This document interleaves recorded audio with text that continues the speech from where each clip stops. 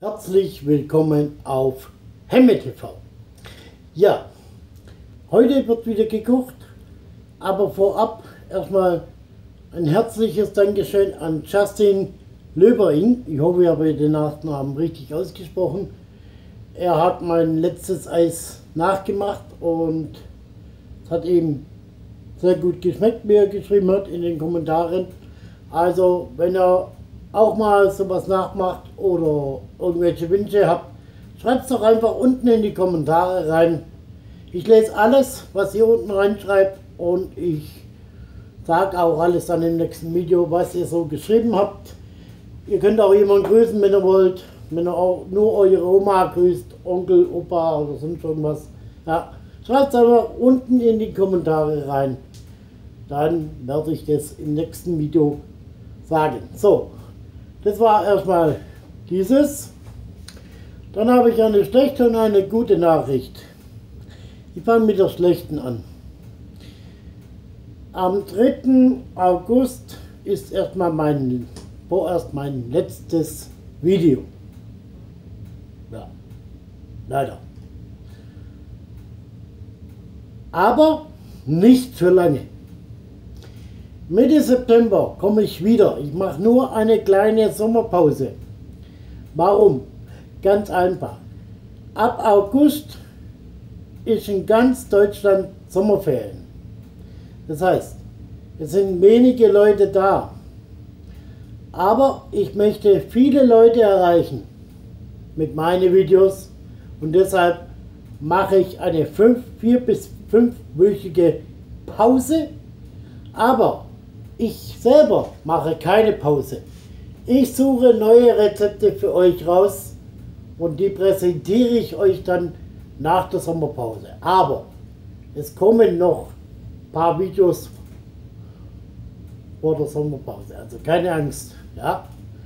Es werden auch nochmal Eisvideos gemacht nächsten Monat. Zwei Stück.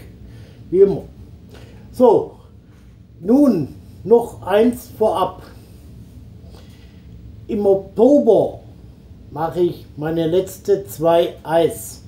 Das heißt, ihr könnt euch schon mal Gedanken machen, welches Eis wollt ihr oder welche zwei Eis wollt ihr noch mal sehen und die werde ich dann machen.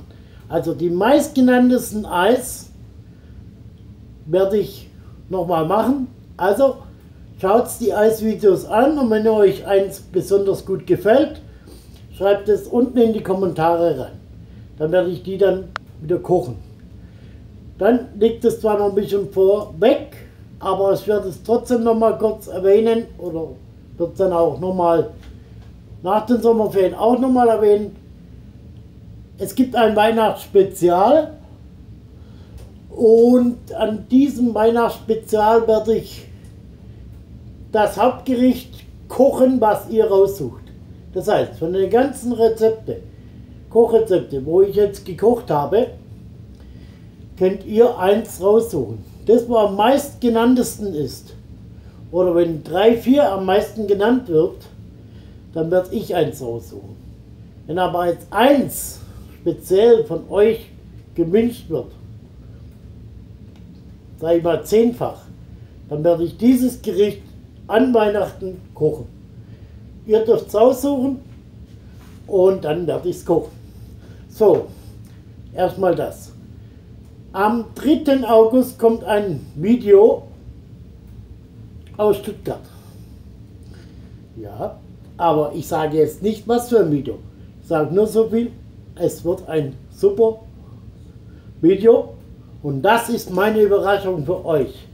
Deswegen, schaut am 3. August rein. Es lohnt sich für euch. So, und dann gibt es am Dienstag ein Video spezial von mir. So viel vorweg. Ich gehe zum Friseur. Also, schaut's am Dienstagabend, sag mal so ab 19 Uhr, immer wieder rein und guckt nach diesem Video. Und dann könnt ihr mal sagen, was schöner war. Das jetzt oder das hinterher. Ja, so viel dazu. So, was koche ich heute? Jetzt zu heute. Ich koche heute Rindsrouladen mit Apfelrotkraut und Kartoffelpüree. So, und dazu drehe ich jetzt die Kamera wieder rüber zum Herd, weil ich habe alles schon vorbereitet. Es geht drüben auf dem Herd weiter und dann sage ich bis gleich. Ja, meine Lieben, jetzt ist er noch leer. Da kommt jetzt gleich mal ein Topf oben drauf. So, da habe ich schon mal Zwiebeln drin.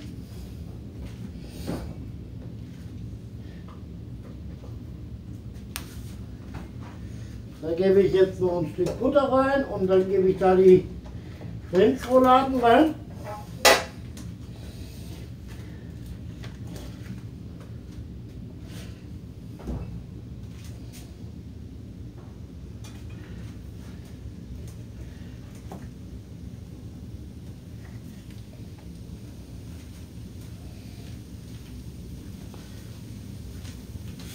So, ein Stück Butter. Also ihr könnt ruhig auch mal Rezepte unten reinschreiben in die Kommentare. Dann werde ich die Rezepte auch mal raussuchen und noch mal machen. Ne? Also wenn euch mal ein Rezept nicht gelungen hat, ist, dann schreibt es doch einfach mal in die Kommentare unten rein. Dann gucke ich mal danach und dann werde ich mal speziell dieses Rezept machen. Ne? Jeder, wo da was reinschreibt unten, der wird auch erwähnt. Also kein Thema. Ne?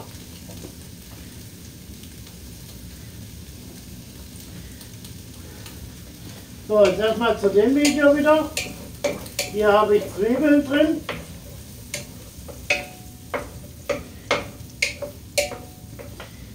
Die tue ich anräuchen. Die habe ich in solche Stücke geschnitten. Und die gehen nachher in der Soße, werden die nachher ganz, ganz weich. So, und da kommt jetzt die Rindsrouladen rein.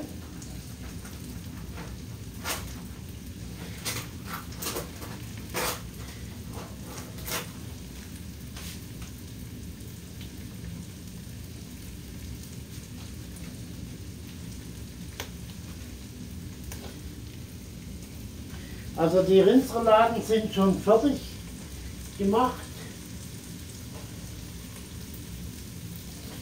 Die brauche ich bloß noch anbraten.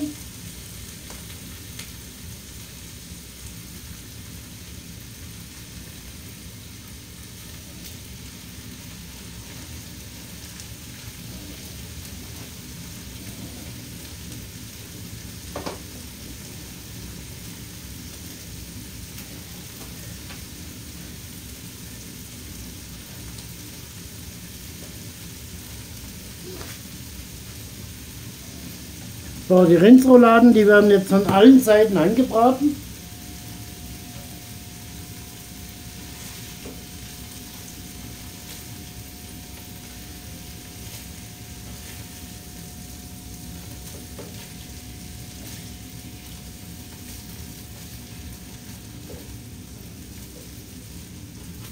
Die kommen dann nachher auch wieder raus, wenn sie fertig sind mit dem Anbraten.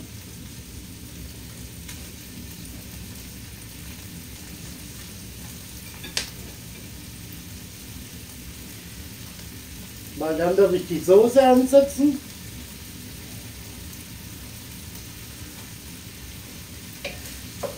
Und dann kommen die nachher wieder, wenn ich die Soße angesetzt habe, in die Soße wieder mit rein.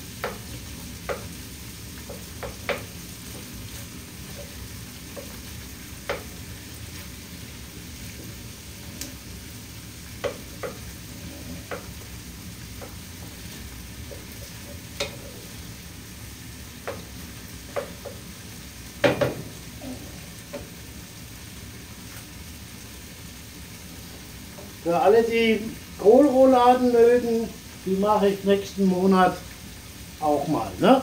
So, also ich melde mich jetzt dann nachher nochmal, wenn ich mit der Soße weitermache. Also bis gleich.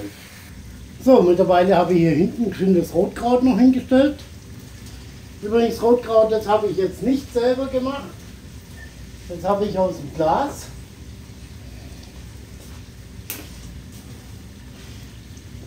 Weil ein ganzer Rotkraut kocht ist mir zu viel. Und da meine Nachbarin gerade im Moment keinen Platz hat in der Gefriertruhe, kann ich auch da so Sachen nicht eingefrieren, weil ich auch Fleisch und so weiter eingefriere. Und aus diesem Grunde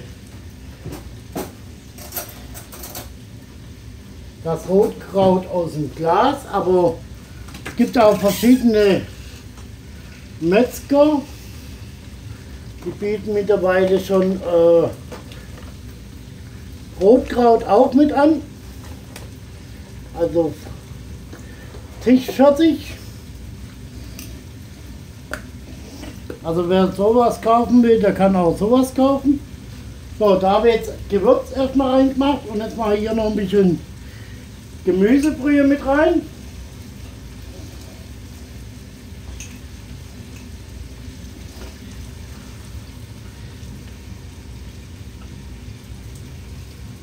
Also Gemüsebrühe ist nichts anderes als das, was der, was der Koch nimmt, beziehungsweise aus dem Gemüse macht, wo er verkocht.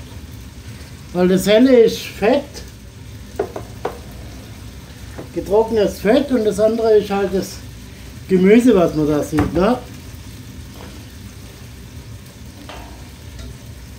Dann kann man das auf diese Weise machen, dann gibt es auch Fleischbrühe und so weiter.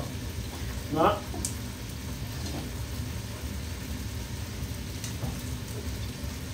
Aber so Sachen von, wie von äh, fette Brühe oder so, da rate ich euch von ab, weil das ist nichts. Ne? Dann nimmt lieber so Gemüsebrühe oder, oder Fleischbrühe das ist besser. So, jetzt werde ich die Rindsrouladen rausnehmen und auf den Teller tun, weil ich jetzt die Soße mache.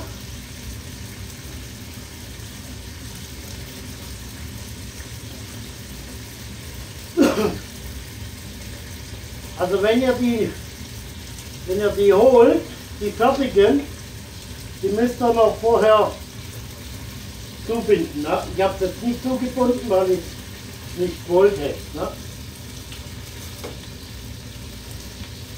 Ich wollte das jetzt einfach so machen, weil ich das nicht so mag, wenn man so zubindet und ehrlich gesagt, ich kann es auch nicht. Ne? Also es gibt auch Sachen, die ich nicht kann. Ne? So, und jetzt tue ich hier einfach noch die Zwiebeln etwas anrösten.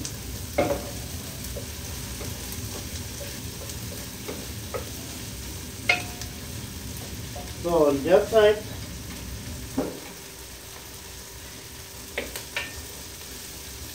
kann das mal auf kleiner Flamme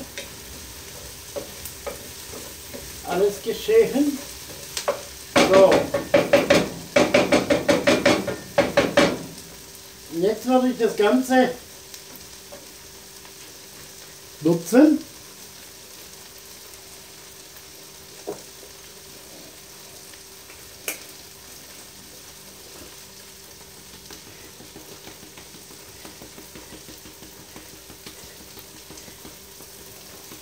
Könnt auch Paprika reingeben oder sonst irgendwas, ne? was ihr mögt in die Soße. Das macht überhaupt nichts aus. So, das Ganze wird jetzt hinten mal so angebraten.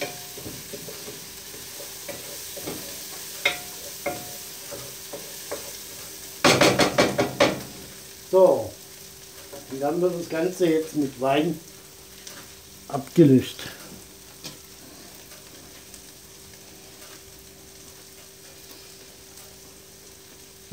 Übrigens Zwiebeln und Knoblauch ist jetzt äh, und die Gewürze, äh, auch Knoblauchpulver mit drin, äh, ist mein, mein Geschmacksträger, ne, mein Gewürz. So, und jetzt gebe ich noch was für den Geschmack dazu. Nämlich einen schönen, leckeren Weißwein. Könnt aber auch einen roten nehmen. Ihr könnt Bier nehmen, ihr könnt Most nehmen.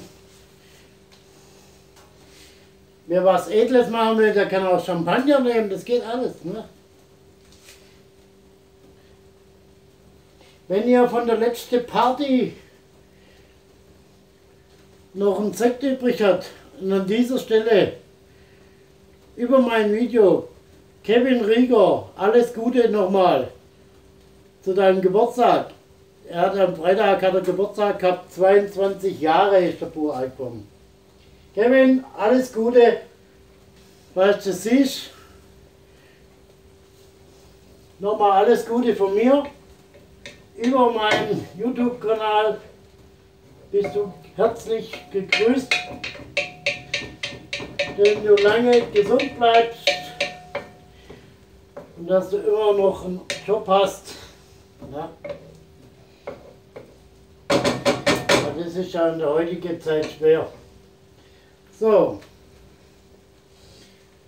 Falls es nicht sieht, kann einer, wo Kevin Rieger kennt, hat mal in Wiesensteig gewohnt, wohnt jetzt in Münzingen, kann es ihm ja ausrichten. Aber der Kevin hat ja einen riesen Bekanntenkreis durch die Fastnet und so weiter. Also kann ich mal einen ausrichten, dass ich ihn gegrüßt habe über über meinen YouTube-Kanal.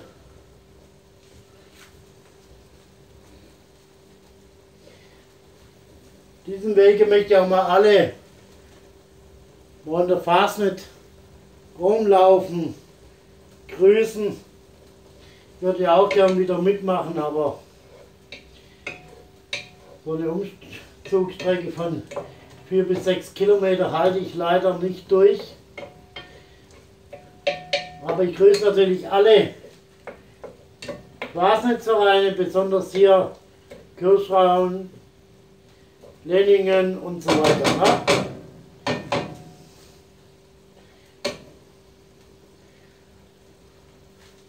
Ja, ein Rathaus, Rathausturm in Oberlenningen werde ich dieses Jahr filmen, mit dabei sein. Also wer mich da sehen will, in Oberlenningen, Rathausturm von der Lenninger Hexen einfach kommen. Ja, wir haben einen super DJ da, also kann ich euch nur empfehlen. So, jetzt gebe ich hier Wasser rein. Ah, wenn ihr das riechen könnt, hier wird es ausflippen. So, mache ich schön Pause, weil ich muss an den Schrank hin. So, da bin ich auch schon wieder. So, da kommt jetzt ein halber Liter Wasser rein.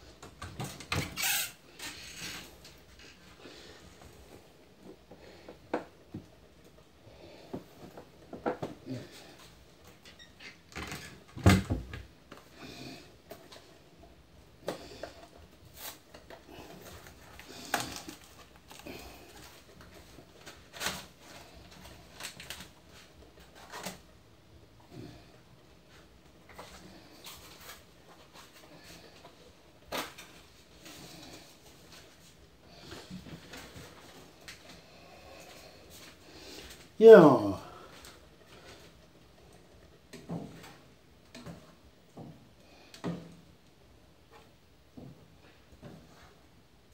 So, jetzt gebe ich in den Rotkraut oder in das Rotkraut noch Äpfel rein. Die habe ich vorher geschnitten mit meinem Zwiebel- und Gemüseschneider. Übrigens Schale lasse ich da immer dran bei den Äpfeln. Na? Und jetzt zum Apfel nimmt einen säuerlich süßen Apfel. Also keinen reinen süßen Apfel, sondern säuerlich süß oder einen säuerlichen Apfel. Ne? Und ich habe jetzt so säuerlich süß ne? genommen und das wird jetzt hier einfach mitgekocht.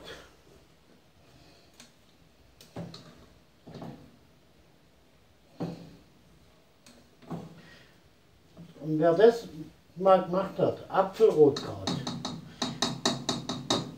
der will nichts mehr anderes essen hinterher. Probiert es einfach aus. Macht es einmal. Ihr wird begeistert sein.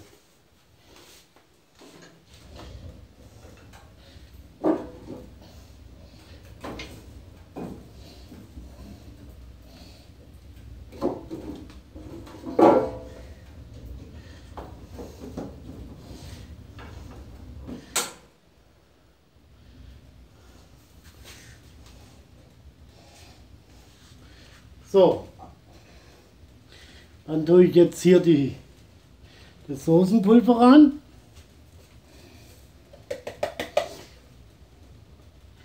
Und wenn das jetzt nicht ganz reicht, also ich denke mal, zwei Packungen muss ich auf jeden Fall noch reinmachen.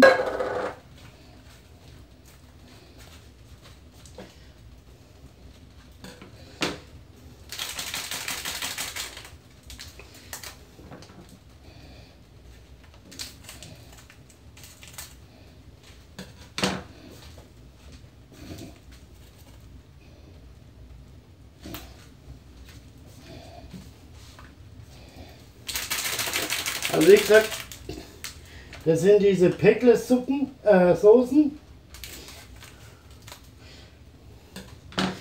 Aber die sind nicht schlecht. Ne? Nur als Binder nehme ich das, ja, die Soße. Das Soßenpulver. Ja.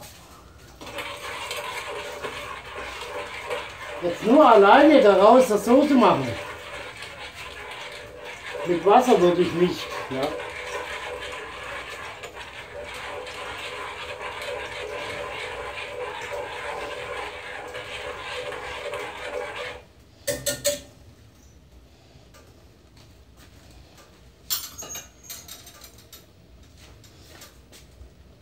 Weil da brauchen wir einfach noch ein bisschen Gewürz und vorher schon was, was Geschmack bringt. Weil nur das Soßenpulver alleine hat keinen Geschmack. Ne?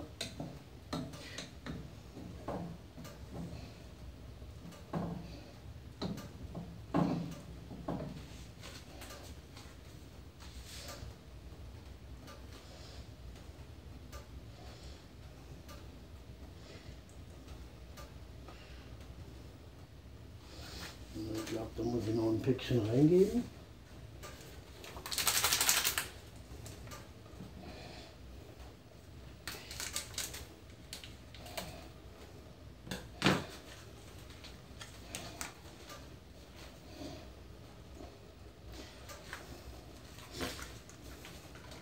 So, dann melde ich mich nachher wieder, wenn die Soße fertig ist. Beziehungsweise, wenn ich dann die Kartoffeln aufsetze. Ne?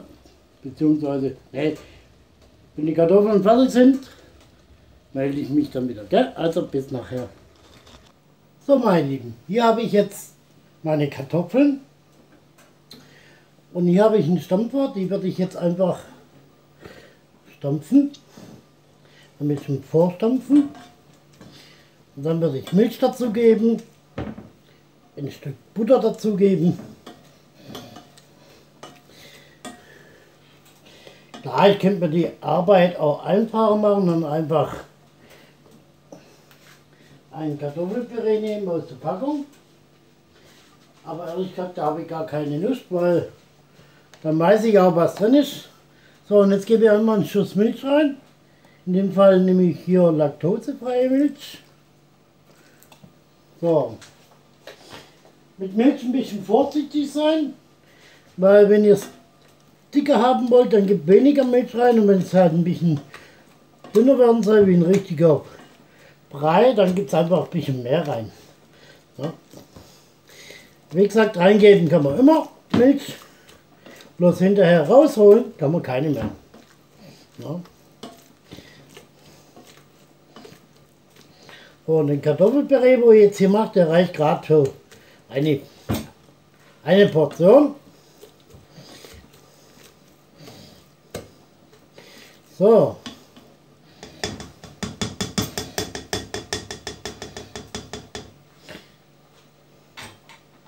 Jetzt gebe ich hier noch ein Stück Butter rein. Milch tue ich geschwind im Kühlschrank.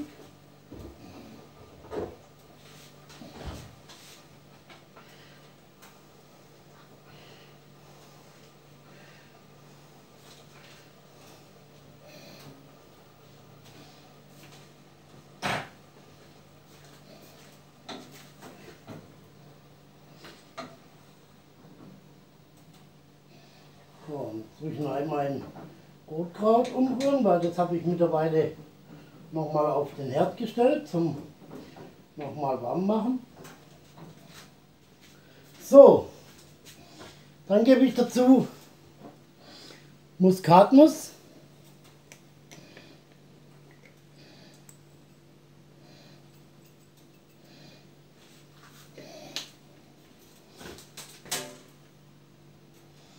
Ich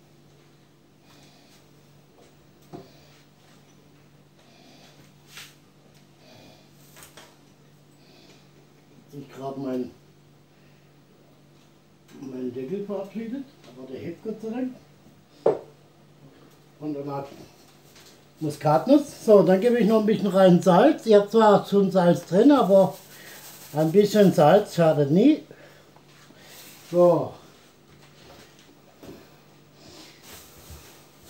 Und jetzt muss man das Ganze mit dem Schneebesen noch logischerweise verrühren, wie den in der Tüte auch.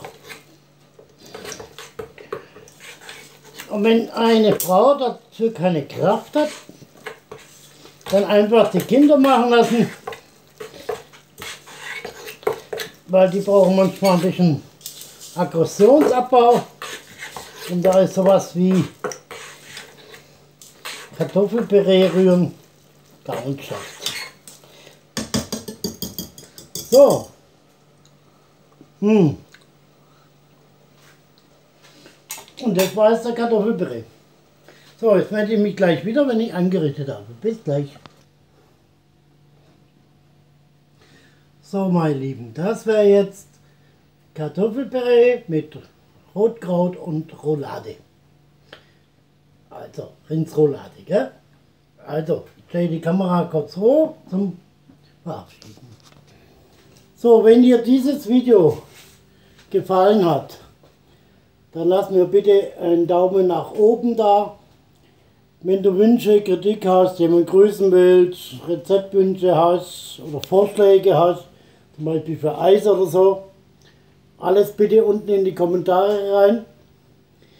Wer neu auf meinen Kanal gestoßen ist, hier unten kann man jederzeit kostenlos abonnieren und hier rechts drüben gibt es ein Glöckchen, wenn man das anklickt, wird man jederzeit benachrichtigt, wenn ich ein neues Video hochlade. Und das ist in der letzten Zeit sehr häufig, dass ich eins hochlade. Ja, ansonsten sage ich vielen Dank fürs Zuschauen und Zuhören. Und bitte schickt das Video bitte per WhatsApp an alle, die ihr kennt, weiter, dass wirklich ein Haufen Leute meine Videos sehen. Und dann sage ich jetzt Tschüss und bis bald auf Hemme TV. Ciao.